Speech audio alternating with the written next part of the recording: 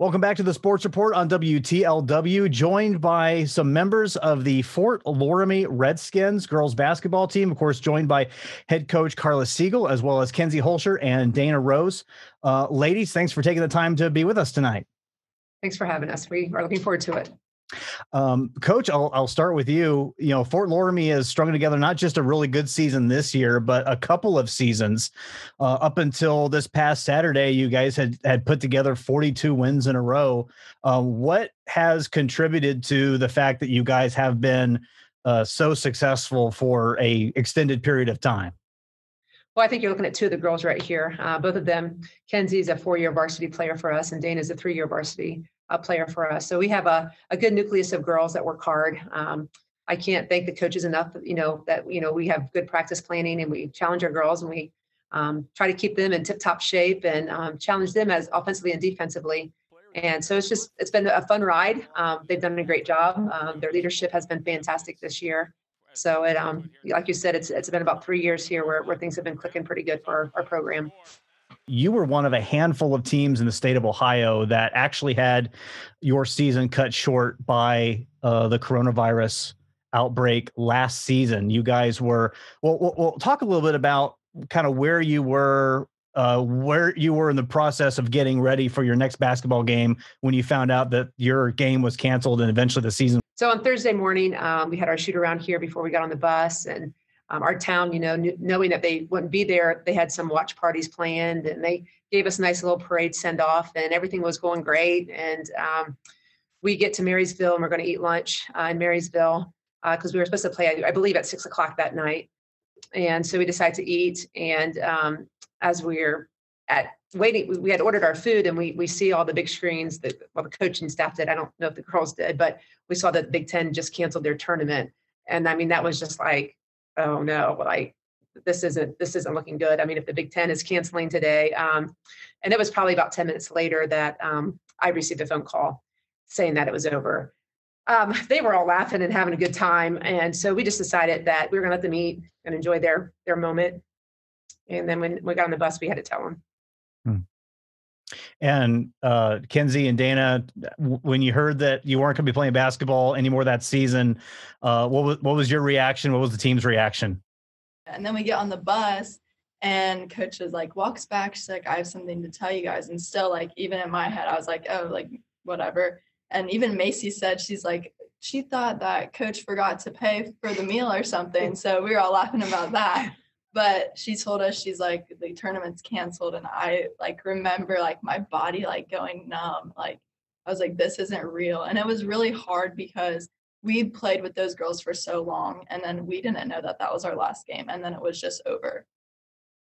Yeah i'd agree um when coach was coming back and she said she had something to tell us. I actually thought she was just gonna say a joke about something because i never would have thought she would have came back and told us that so i was just kind of laughing and whatnot. And then she told us, and then it still didn't seem real for five minutes.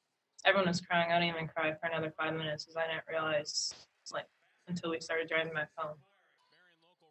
And I, I like, I think Kenzie brought it up. I mean, the biggest, probably the hardest thing was we came home and you know the parents were at the school to to, to greet their daughters and um, that's how our season ended.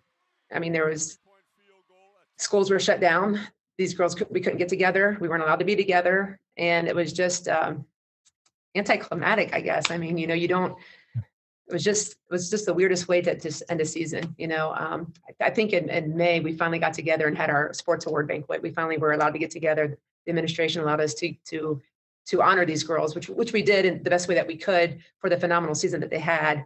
And um, but it was just like she said you know they, they they got to play with the seniors for like three years and it was just finished you know on, on a bus. So it was it was weird. It was hard. Um, it was very a, a very tough bus ride home.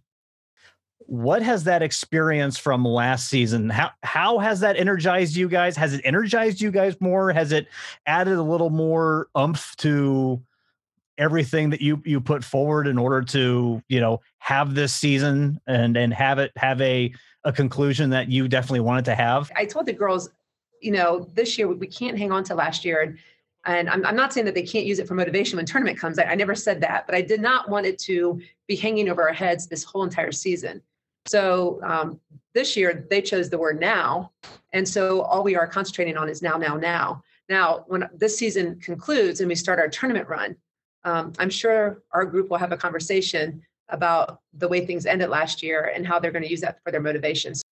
Last Saturday, you had a setback, first time in 42 games against Bath. Um, what did you what did you take away from that game? Um, did it did it ease any type of pressure on having to keep a winning streak if you were feeling that? Maybe you weren't even feeling that at all. Um, and did it help you to kind of have that happen now before uh, tournaments and your in your preparation for uh, not just closing out the Shelby County League part of your schedule, but um, getting into uh, tournaments as well? Well, I think you know when the season started, when we won our first game, we weren't one to know. Um, we were 27 to know, and we won the second game. It was, and that number just kept getting bigger and bigger and bigger. Um, I'm not sure how the girls felt about the streak. I would I'd touch base with the captains every now and then, asking them, "Are, are you guys okay with this? Do we need to address it as a team?" Uh, the captains always said, "No, we're fine. We just we're just playing each game as it is," and that's a testament to them. And we played some really big games, you know, back in December and early January. And we just had a, you know, there was about a four week stretch there where we were playing some really, really good teams. And uh, Lima Bath was phenomenal that day. They were clicking on all cylinders. Um, I when I watched the film the next day, I was just like, wow, you know, we got beat by a better team that day. There, I mean, there's nothing that we could have done. We didn't play horrible. Um, the ball just didn't bounce our way um, as far as shot selections and loose balls and things like that. Um, I think it's. I, have always said this. I, I've been coaching for a long time. I've always said that you learn more from a loss sometimes than a win. And so, you know, we we talked about the things that we did wrong.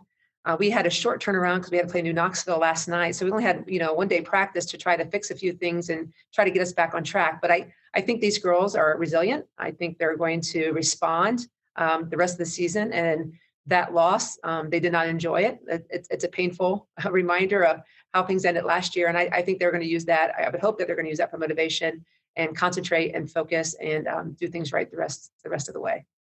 You had a game just a couple days after that. You played New Knoxville. Um, did some of the feelings of, of losing a game did that add additional motivation to you to really get back on the winning track, uh, correct whatever mistakes there were against uh, New Knoxville on Tuesday night?